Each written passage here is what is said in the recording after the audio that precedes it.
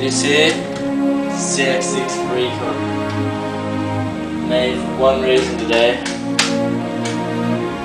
Piss off some wasps. This gun is fully capable